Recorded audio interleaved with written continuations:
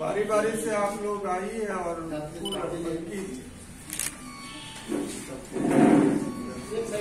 आराम से लाइन से आइए, पाँच से आइएगा।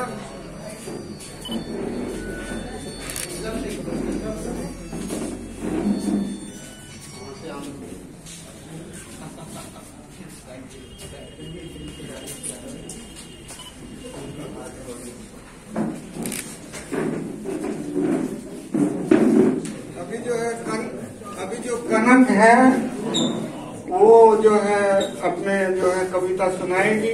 कनक कनक